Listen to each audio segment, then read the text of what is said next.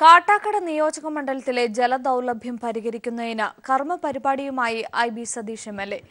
മണ്ഡലത്തിലെ നീരുറവുകളും തോടും കുളവും കാവുകളും കിണറുകളും പുനരുദ്ധരീകരിക്കുന്നതിന് കർമ്മസേനയെ രംഗത്തിറക്കും.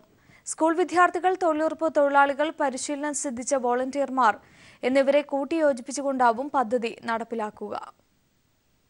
നീരുറവകൾ പാതാളത്തോളം താണുപോകുന്ന വർത്തമാനകാലത്ത് ജലസമൃദ്ധിക്കായി ഭഗീരഥ പ്രയത്നം നടത്തുകയാണ് Kattakada M L A I B സതീഷിന്റെ നേതൃത്വത്തിൽ. അന്താരാഷ്ട്ര ജലദിനമായ ഇന്നലെ ജലദൗർലഭ്യത്തിനെതിരെ പതിനഞ്ചിന കർമ്മപരിപാടി ലക്ഷ്യം വെച്ചുകൊണ്ട് ഒരു നാട് ഏകസ്വരത്തിൽ രംഗത്തെത്തുകയാണ്.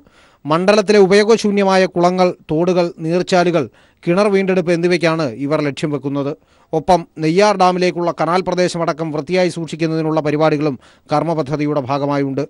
മത്സ്യകൃഷി പ്രോത്സാഹിപ്പിച്ചും എല്ലാ പഞ്ചായത്തുകളിലെയും പ്രധാനപ്പെട്ട ആറോളം കുളങ്ങൾ കയർ ഭൂവസ്ത്രം ഉപയോഗിച്ച് വശങ്ങൾ സംരക്ഷിക്കുന്ന പദ്ധതിയും ഇതിന്റെ ഭാഗമായി നടക്കും.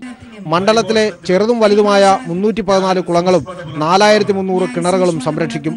പരിശീലനം സിദ്ധിച്ച ഇരുന്നൂറ്റി പത്ത് സന്നദ്ധ പ്രവർത്തകരിലൂടെ ഏപ്രിൽ പത്ത് മുതൽ ഒരു മാസം നീണ്ടു നിൽക്കുന്ന ജലപരിശോധനയും പദ്ധതിയുടെ ഭാഗമായി നടക്കും.